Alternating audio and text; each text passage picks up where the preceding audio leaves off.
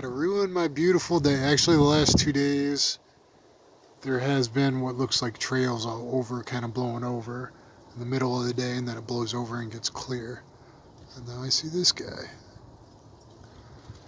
So as soon as people are, maybe states are going to reopen, the skies are all nasty, but from April 1st to, I don't know, 14th, 15th, super clear. I don't know. I don't know.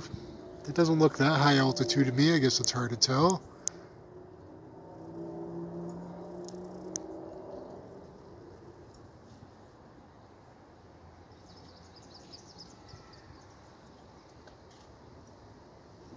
But why?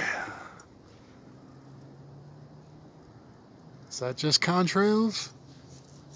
Thought it had to be over 50% precipitation for it to be contrails and high altitude.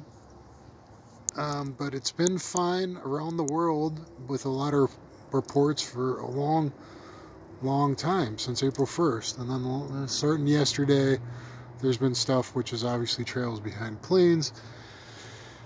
And, uh, you know, I don't know. I don't know. What do you think?